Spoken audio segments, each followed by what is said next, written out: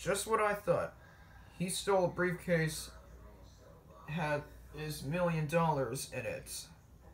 Let us write to him, you will. Take him away, boys!